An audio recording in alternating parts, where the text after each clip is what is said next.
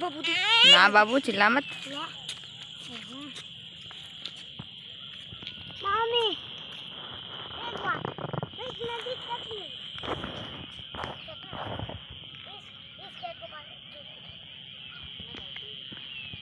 कितना मस्त सनसेट